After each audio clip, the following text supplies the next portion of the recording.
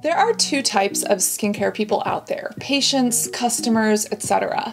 Which one are you? And depending on which type you are, what else does that say about how you purchase things, how you navigate the world, and how you see your own beauty? I was having this conversation with someone that I work with, and I was speaking about, you know, people who come into clinics or to get treatments done, and those who come in from social media versus those who come in from regular patient referrals. For example, if you have what's called an HMO insurance plan, someone has to go see their primary care doctor, have their skin, their body, whatever looked at, and get referred to a specialist. So if there's an issue with the heart, then they go see a cardiologist, or if there's an issue with skin, they go see dermatology. This doctor and I were discussing some of the differences we've seen in the people that come in, how they treat medical staff, what they do or don't know about skincare or procedures already, how much education and time there is, and what people want. Just the way someone who is a teenager or Gen Z might want something very different than someone who is a millennial or Gen X. There are differences in certain patient subtypes or certain client subtypes. Something that I learned about five years ago is that there are really two types of skincare patients or clients.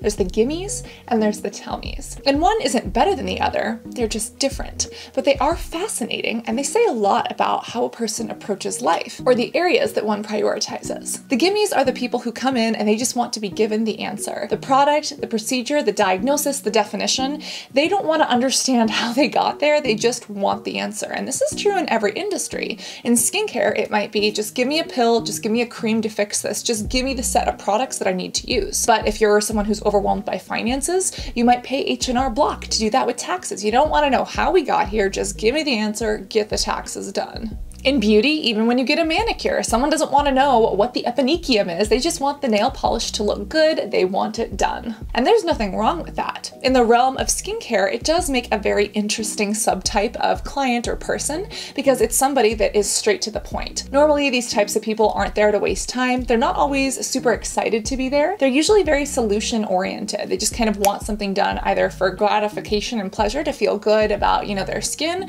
or to actually get a product or a treatment just to get rid of mild acne or to get rid of, you know, a rosacea flare or the thing that they're struggling with. Now, on the flip side, there are the tell me's. The tell me's are the people who come in and they want to understand why. They say, I don't just care about this product, but I want to know how it works.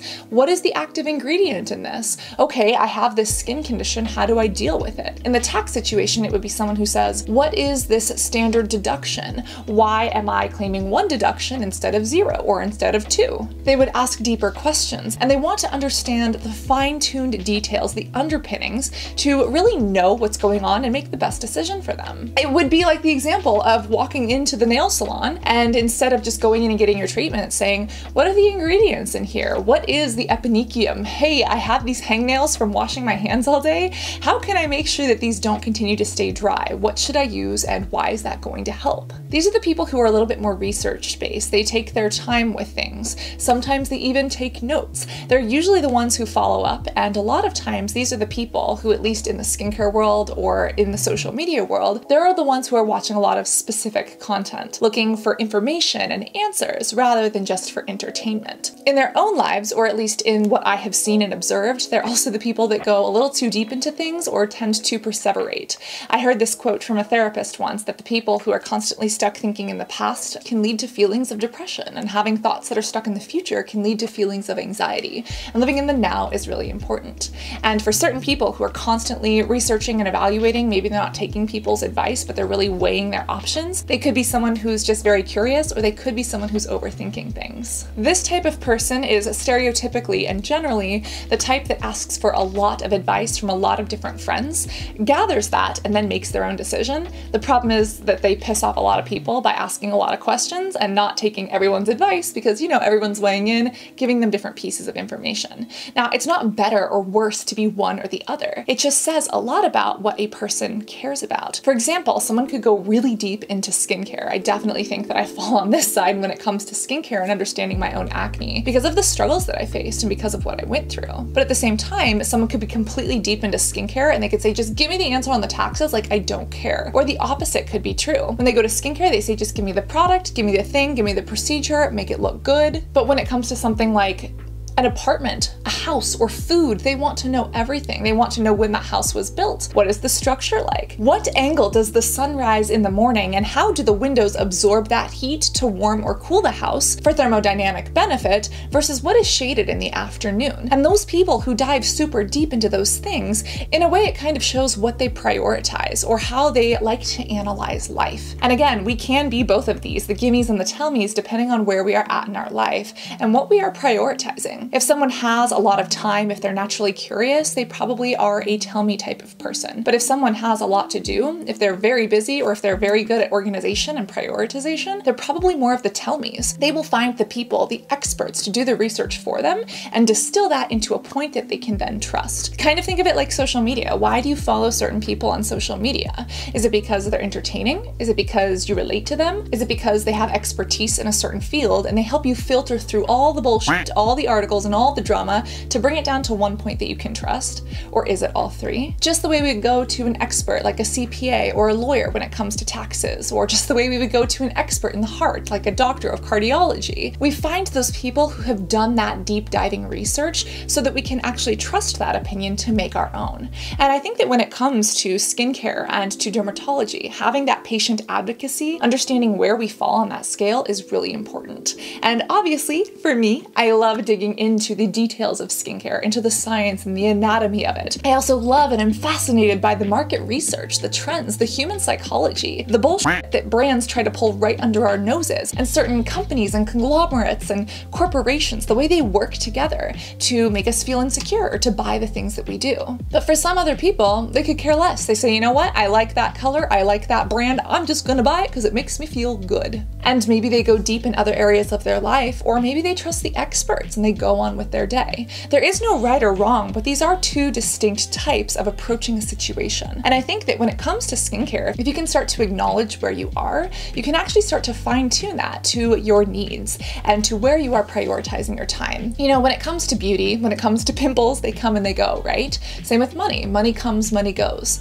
Even friendships come and go. But when it comes to time, that is the one thing that we can't get back. And I think that if we are more aware of where we enjoy spending our time to research or who we can actually trust and who has that positive track record, that helps us make better decisions about who we are, about what we are going to do with our time, and how we are going to prioritize things like beauty or finances or the place that we live or the food that we eat. And we can actually tailor that to learning about the things that matter to us or spending that time in other ways. There was a professor that I once had in school who spoke about being a lifelong learner and how being a lifelong learner led to a longer lifespan, a more fulfilled life, etc., because it gave people a bit of purpose. It had this spark of curiosity, but that being a lifelong learner only worked if you were doing that in an area that you were passionate about. And a lot of that lifelong learning benefit maybe came from that social interaction of having to trust other people, having to ask questions, and having to dive deep where it matters. And I want to ask you very seriously what you consider yourself a lifelong learner in, where you think you could grow, where you're interested and want to, or where it just doesn't make sense. A therapist also told a wonderful editor on our team to focus on ponds, not puddles. It's better to have a few things that are very important but very deep rather than a bunch of shallow puddles. It's kind of like that jack of all trades quote from William Shakespeare. It goes, a jack of all trades is a master of none, but most people don't know the rest of that quote. The full quote actually says, a jack of all trades is a master of none, but oftentimes better than a master of one. And there's a very fine balance to what we can achieve, what we can learn, what we actually enjoy, and where we want to focus on those deep puddles versus those shallow ponds. It's almost like Warren Buffett has that 20 hole punch list. Basically, imagine yourself walking onto an airplane of life, and the flight attendant hands you a little ticket and says you can only have 20 punches. What are the things that you want to do? What are the things you want to focus on? You cannot learn every language, every instrument. You cannot play every sport. You cannot have every friend or do everything. There simply is not enough time. So the question is, if you could only choose 20, if you could only choose five or even three, what would those be? Would you prioritize health? Would you prioritize beauty? Would you prioritize family? Would you prioritize a specific game, a skill set, or education? Really taking the time to ask yourself those questions can be difficult, it can be hard, but it can also be so important and rewarding because that really helps you focus on what matters most to you. There's a book that I've been meaning to read that I haven't had the chance to. I think it's called something like 4,022 hours 600 minutes. I don't remember what it's called. It's something about like the 4,000 hour rule. Um, it was recommended to me and I freaking didn't write it down. If anybody knows the book, can you please tell me what it is? But it's this idea that we only have a certain amount of hours in our lives. And it's about making those hours, or maybe it's weeks, making those weeks matter to us. And if we confront that really hard truth, we can actually focus on the things that we have fun with. And for me, yes, that is skincare. It is diving into the science, into the chemistry, into the self care of enjoying what I do and helping others too. And if you're fascinated now by the anatomy of skin or the chemistry of how things work together, then join that with me. But if you're someone who's just like, hey, I just kind of want the answer, I'm gonna go, you don't have to use this for education or for entertainment. Go find those answers, then take that knowledge, apply it, and spend that time deep diving into the things that you love to do. Find out what those things are, whether it's a sport or skill or a hobby, but commit to being a lifelong learner in that specific area and use that to make connections. Use that to have fun and use that to enhance your life. Again, the give me's and the tell me's are in both of us. The question is, where do you fall in the different areas of your life? I've actually left a little thing in the description box, a little secret if you have a hard time understanding this. There's like a little quiz down there. And I would love it if some of us who are interested in sharing kind of got in the comments, maybe make a butterfly pen pal and share a little bit about your puddles versus your ponds. And if you had a 20 hole punch, which hole punches on that ticket would you choose? And what are the words on those lines that are filled in? Overall, always remember to reapply that SPF. It's really good for preventing cancer, which could technically help you live longer, which technically helps you get the most out of those hole punches. Always remember to stay hydrated, even if it's coffee, and always remember to be beautiful both inside and out. I love you guys, and I truly cannot wait to get in the comments with you. love you guys. Bye.